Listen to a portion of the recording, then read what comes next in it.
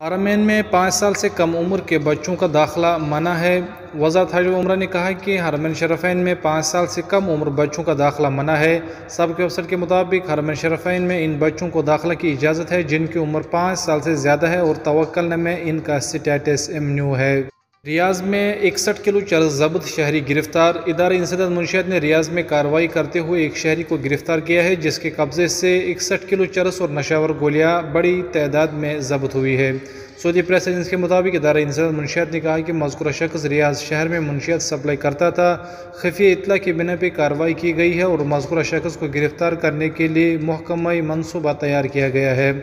इदारे ने कहा कि मजकूरा शख्स को रंगे हाथों गिरफ़्तार करने में कामयाबी हासिल की है।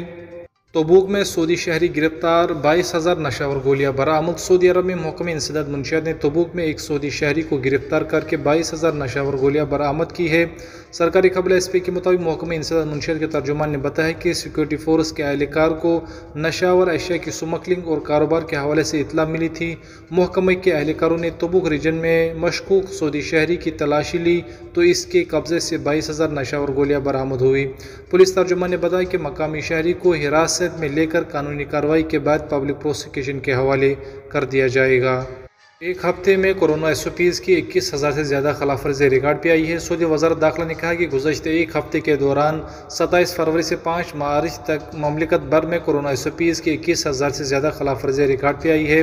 सरकारी खबर एस पी के मुताबिक वजारत दाखिला ने कहा कि रियाज रीजन में सबसे ज़्यादा खिलाफ वर्जी छः हज़ार सामने आई है। अशरगी रीजन में तीन हज़ार, मदीना मनवरा में दो हज़ार, मक्का मुकरम रीजन में एक हज़ार, अलकसम रीजन में एक हज़ार खिलाफ वर्जी रिकॉर्ड पे आई है। वजारत दाखिला ने बताया कि ममलिकत के तमाम रीजनों में सबसे ज़्यादा कम खिलाफ वर्जियाँ हदूद शुमाली रीजन में सामने आई है, जिनकी तदाद तीन सौ उनतीस है। बयान में कहा गया कि हाइल अलजूब, जाजान बहा, नजरान तबुक और अस्सी रीजनों में भी कोरोना एस ओ पीज़ की खिलाफ वर्जियाँ रिकॉर्ड पर आई है।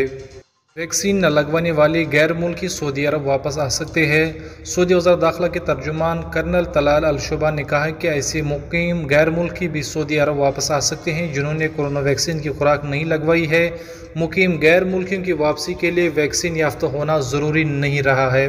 अकाज अकबर के मुताबिक वजारत दाखिला के तर्जुमान ने प्रेस कॉन्फ्रेंस के दौरान सऊदी शहरीों के बैरूनी मुल्क सफ़र के लिए पी सी आर टेस्ट ज़रूरी था। अब ये पाबंदी भी ख़त्म कर दी गई है। ताहम बैरूनी मुल्क सफ़र करने के लिए बूस्टर डोज अब भी ज़रूरी है।